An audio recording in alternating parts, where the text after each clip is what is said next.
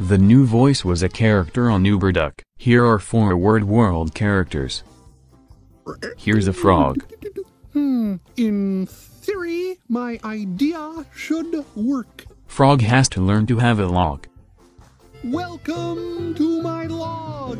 He has love of place to the log with the frog, Actually, there is. Look.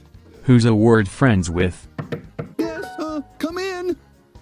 Hi, frog.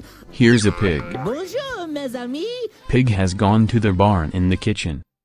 Oh, we can make the cake red, mon ami. We just need a can of red frosting to do that. The question is, who is the pig's best friend? Ant sure is good at hide and seek.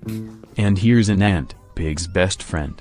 Oh, there you are, Ant. Here I am, A-N-T, Ant. Ant has gone to the hill to see pig was a best word friends buddy.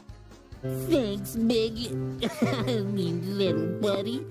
You may be small, but you're the biggest friend I'll ever have. Oh.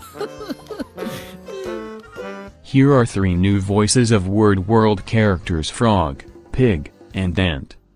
And try for a new voice model with Mr. Narrator from Word World. Wow. Remember, don't forget to use Tacotron 2, in TalkNet. Don't worry guys, no response to the new voice, enjoy the voice. Word World, where words come alive.